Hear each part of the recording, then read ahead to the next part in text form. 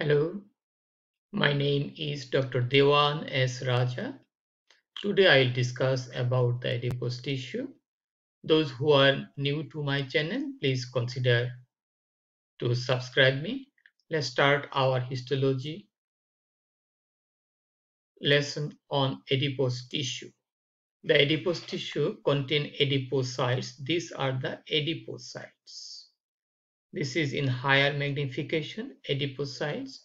The adipocyte stores the fat as lipid droplet and triglyceride. There are three sources of lipid for the adipocyte. The, adipo the lipid come to the adipocyte from the intestine as chylomicron and it is also formed as triglyceride in the liver. It is formed as triglyceride in the adipocyte itself. Okay, so the adipocytes are supported by connective tissue. We have connective tissue septa that is composed of fibroblast and reticular fibers and that contains blood vessels, capillary, venule. We have two type of adipose tissue, white adipose tissue and brown adipose tissue. White adipose tissue is present in the adult and in the newborn, the brown adipose tissue is seen. This white adipose tissue forms around 20% of the body weight of the adult male, around 25% body weight of an adult female. Okay, so this is the brown adipose tissue. It differs from white adipose tissue.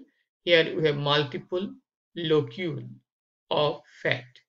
In the in the white adipose tissue, these are, these are unilocular, one fat droplet for one cell and in white adipose tissue this is the nucleus.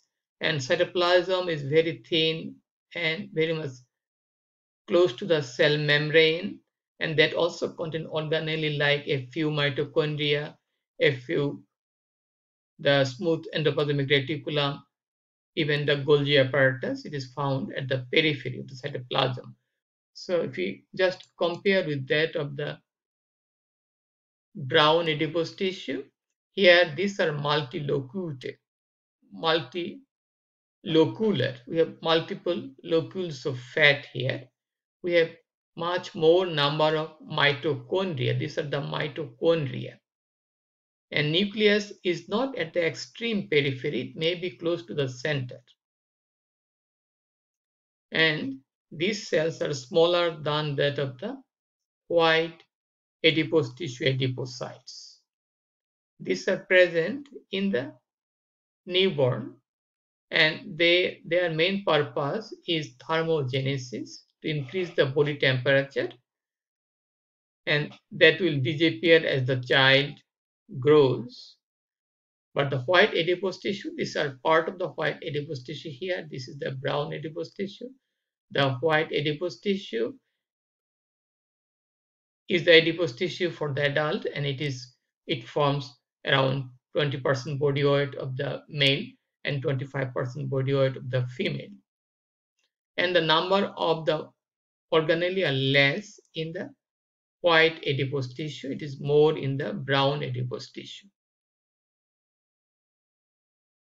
And you have to remember that in extreme conditions, some of the white adipose tissue may be converted into brown adipose tissue. Okay.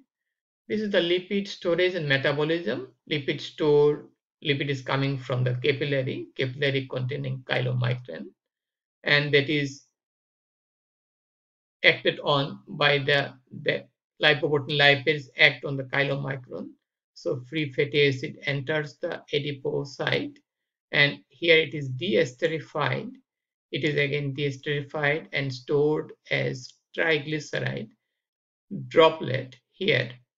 Okay, we have also hormone sensitive lipase here and that lipase by the action of the hormone like growth hormone, corticosteroid, and also the norepinephrine that is coming from the adrenal medulla. It is connected to the adrenal medulla. So, so the norepinephrine and this hormone will, will cause cyclic AMP to be activated and there will be release of the glycerol and the free fatty acid. So this is cycle goes on here and the glycerol is water soluble. It is taken out by the liver and free fatty acid is mobilized to the body circulation. But the insulin hormone actually inhibit the release of free fatty acid and the glycerol.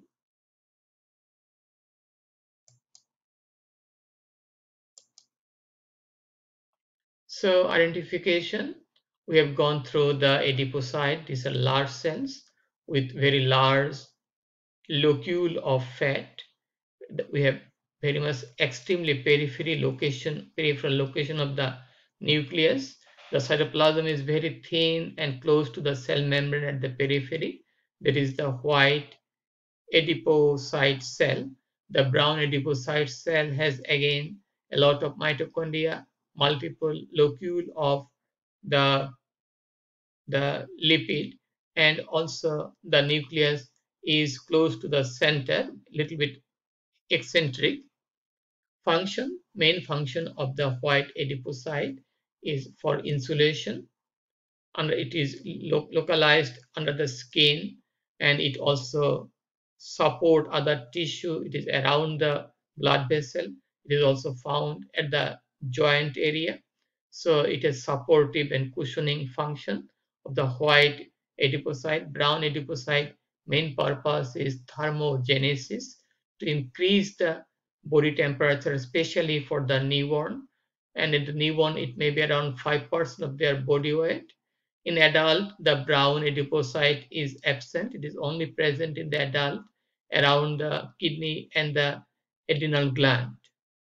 Leptin is the hormone-like substance, a protein that is released from the adipocyte, from the white adipocyte. This leptin stimulates the metabolism of carbohydrate and the fat. And the leptin also work on the hypothalamus, on the satiety center of the hypothalamus. So it is also anorexic. It will decrease the appetite so it is a very good component of the adipocyte that regulates the body weight. Hormones acting on the adipose tissue, we have multiple hormones like that of the noradrenaline, growth hormone, corticosteroid, insulin. Obesity is a clinical condition. It is now epidemic all over the world, especially in the rich countries due to inactivity, overeating, and lack of action of the leptin or its receptor. There may be even mutation of the receptor. There is also some type of inflammatory response in the body and there also there is some release of the cytokines uh, from the adipocyte. Okay.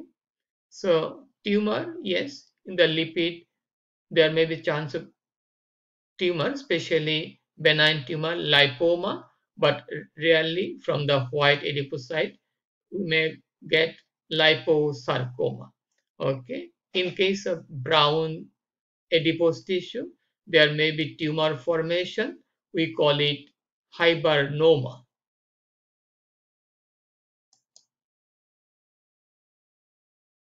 Okay, these are my references.